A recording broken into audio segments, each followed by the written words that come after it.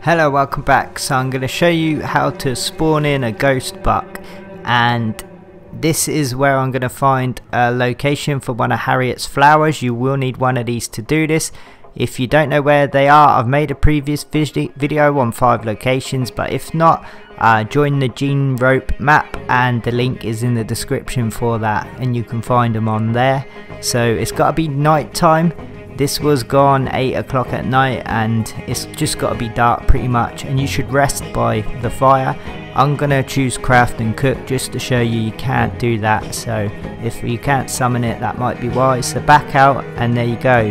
Hold triangle to burn the Harriet's flowers or just one of them and uh, it will spawn in and this one this week is going to be the ghost buck and I'm sure they're going to add others but this is what it looks for, like for now. It's a pretty cool feature. Um, it's a shame it doesn't last long and I don't think you can interact with it. But let me know in the comments if you found anything else about these ghost animals. But I personally think it's a nice touch it's just something a little extra and it'd be good if your posse was around to maybe take photos and whatnot.